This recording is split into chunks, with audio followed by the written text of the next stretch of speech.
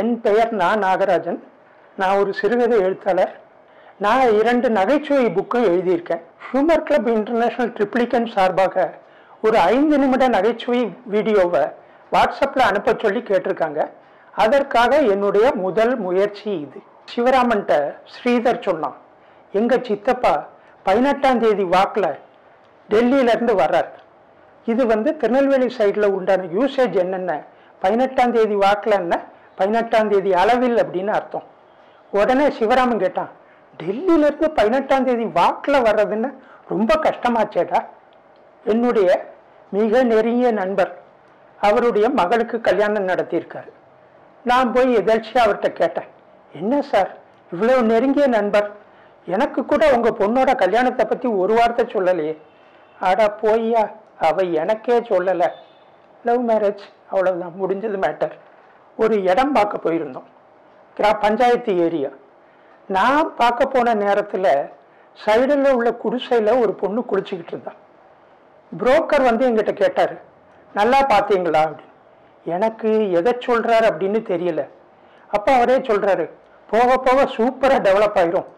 இனிமே இங்கே இருந்தால் டேஞ்சர் அப்படி சொல்லிட்டு வேற இடம் பார்ப்போம்னு சொல்லிட்டு கிளம்பி வந்துட்டேன்.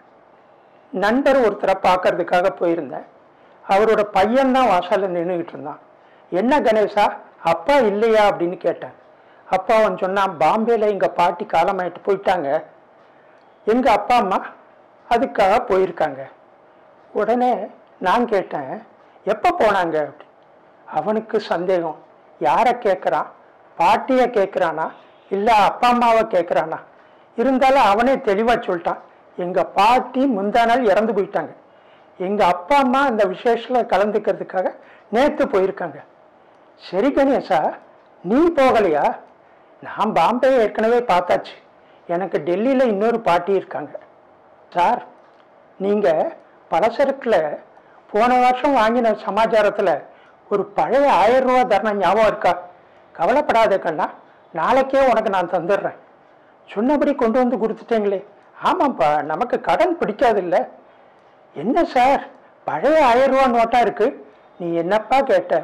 பழைய ஆயிரம் தரணும்னு கேட்ட. நான் நீ சொன்ன வார்த்தையை அப்படியே கடைபிடிச்சிருக்கேன் பாலாஜி என்னுடைய நண்பர். வரராஜபுரத்தில் ஒரு நாடகம் போட்டோம். வழக்கமாக சிவராத்திரிக்கு விடிய விடிய நாடகம் போடுறது வ வழக்கம். அப்போ எல்லாரும் பிரமாதமாக நடிச்சிருந்தாங்க.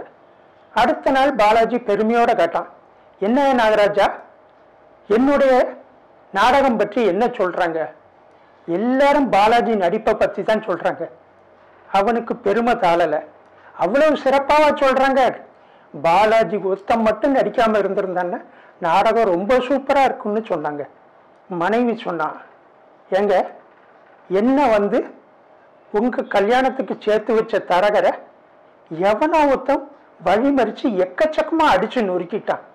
சரி விடுமா எல்லாருமே என்ன மாதிரி பொறுமைசாலிகளாக இருப்பானா? ஒன்று ரெண்டு பேருக்கு கோபம் வரத்தானே செய்யும். என் மனைவி சொன்னான் நம்ம பொண்ணு வசந்திக்கு வயசு கூடிக்கிட்டே போகுதுங்க. ஒரு நல்ல இடமா பார்க்க வேண்டாமா? இருமா நானும் புரோக்கர்கிட்ட சொல்லி வச்சுருக்கேன்.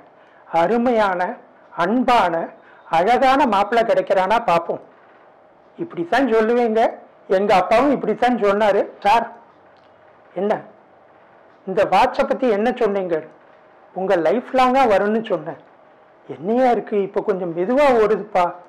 எனக்கும் வேற பக்கு பக்குன்னு இருக்குது சிவராமன் சினிமாவுக்கு ட்ரை பண்ணான். ஒரு டைரக்டர்கிட்ட போய் கதை சொல்ல போயிருந்தான்.